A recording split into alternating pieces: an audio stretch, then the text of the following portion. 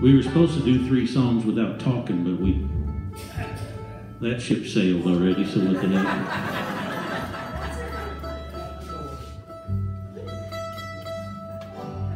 Uh, this next song is uh, this is an original Freightliners tune. This is one I wrote up in Colorado. It's called It's called. Let me try it. Aspens and Pines.